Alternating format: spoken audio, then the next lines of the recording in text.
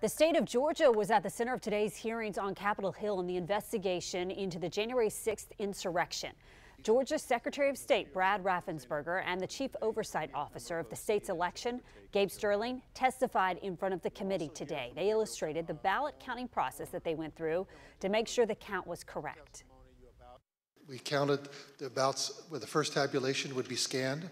Then when we did our 100% hand audit of the entire, all 5 million ballots in the state of Georgia, all cast in place, all absentee ballots, they were all hand recounted and they came remarkably close to the first count. And then upon the election being certified, President Trump, because he was in, within half percent, excuse me, could ask for a recount. And then we recounted them again through the scanners and we got remarkably the same count. Three counts, all remarkably close, which showed that President Trump did come up short. A Georgia elections worker also testified today. She and the others counted ballots late into the early morning after election night.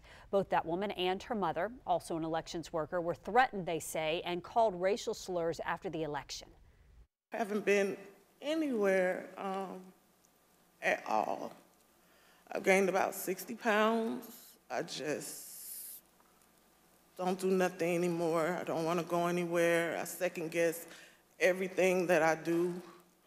Um, it's affecting my life in a, in a major way, in every way. All because of lies. For me doing my job, same thing I've been doing forever.